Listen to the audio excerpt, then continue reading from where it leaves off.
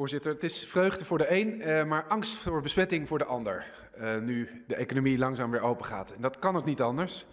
Niet voor niets is wat we nu meemaken op de wereld wel vergeleken met een soort groot experiment. Niemand weet precies hoe je met zo'n pandemie moet omgaan en dus ook niet hoe je de berg afgaat, om uh, Heerma te citeren. Maar dat het een groot experiment is, wil niet zeggen dat we overal mee moeten experimenteren. En op dat punt vind ik het kabinet, zeker waar het de uitvoering betreft, niet gelukkig. Telkens werden dingen beloofd die dan anders bleken. Persoonlijke beschermingsmiddelen, de app. Het woord app is nu weer verdwenen uit het idioom van het kabinet, maar we hebben een paar weken geleden hoorden we honderd keer app. De app is weg. Drie, het testen. Lag het nou aan de capaciteit of de voorraden? En vier, het contactonderzoek. En waarom is dat nou belangrijk? Nou, omdat alles erop gericht is dat we weten wat er gebeurt. Het OMT zei vanochtend nog, ja, we hebben echt niet geadviseerd over alles na 11 mei. Tot 11 mei. En vanaf dan alleen als er voldoende capaciteit is, als we zien wat er, gebeuren, wat er gebeurt en als dan GGD ook opspoort hoe het met een besmetting is, zodat je het kan indammen. Wij vroegen vorige keer hoeveel mensen worden er nu onderzocht. Nou, zei de minister, dat gebeurt gewoon. En ik heb opdracht gegeven om op te schalen.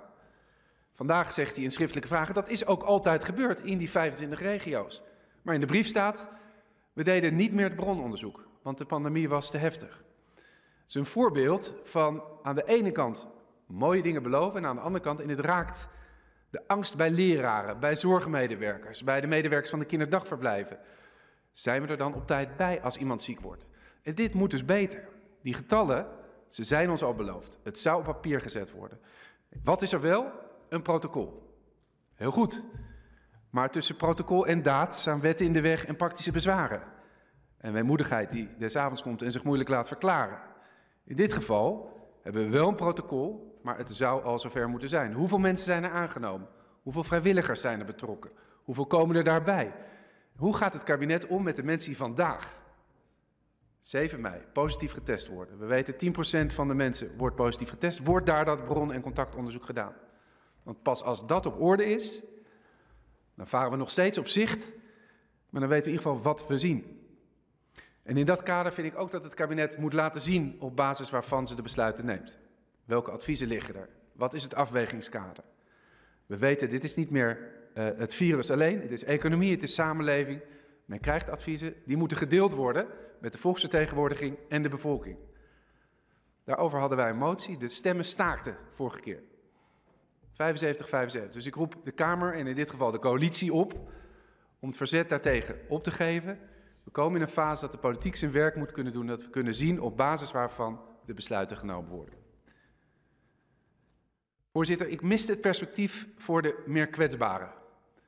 De bewoners van de verpleeghuizen mogen nu hopen, dankzij het experiment, op een bezoekregeling. Maar hoe zit het met de dagbesteding voor de gehandicapten? Hoe zit het met de mensen in de GGZ? Ik zou het kabinet willen vragen, ook hier, een planning te maken op basis waarvan en onder welke voorwaarden ook die mensen weer meer kwaliteit van leven kunnen krijgen, ondanks de dreiging van corona. En ik snap de dilemma's die daarbij gelden.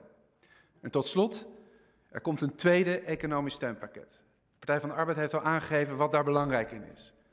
Een rechtvaardige verdeling, rechtvaardig de rekening neerleggen bij de mensen die dat kunnen leiden. Maar ook duidelijk maken wat er anders moet worden. De kwetsbaarheid van heel veel mensen in economische zin is keihard aangetoond. De mensen in de cultuur, de mensen in de horeca, de mensen in het toerisme. Precies daar waar flexibele contracten en ZZP'ers aan de orde van de dag zijn, verdienen ook een perspectief. Dank u wel.